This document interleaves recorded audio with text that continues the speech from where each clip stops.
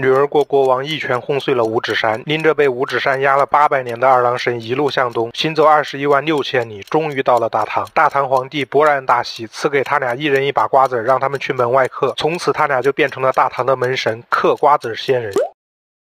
你凌晨三点给我打电话就是为了说这？你睡了吗？废话，凌晨三点狗都睡了。可是我还没睡，新剧本还没想出来，我们下周更啥呀？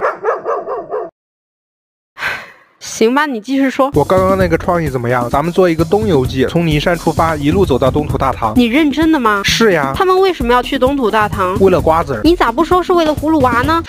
妙啊，那就是为了葫芦娃。他们到了东土大唐后，皇帝给了他们一把葫芦籽儿。二郎神就是葫芦娃们的爷爷。那女儿国国王呢？被镇压在葫芦山的蛇精呀。那蝎子精又是谁？谁是蝎子精？蛇精的丈夫被一起镇压在葫芦山那个。蛇精在葫芦山里渡劫，天劫大老爷没戴眼镜，一个没瞅准劈错了人，把蝎子精给劈死了。你敢这么写，信不信粉丝能众筹一个五雷轰顶劈死咱俩？呃。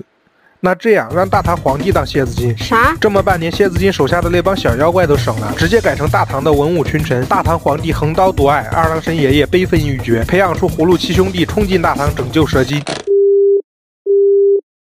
喂，喂，你被蝎子精抓走了。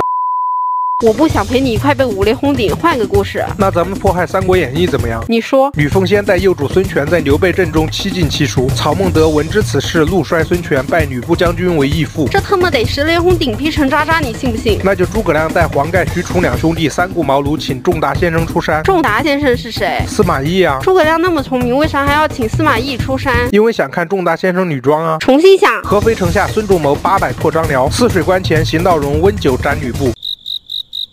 貂蝉断后，喝断挡阳桥。王朗阵前，骂死周公瑾。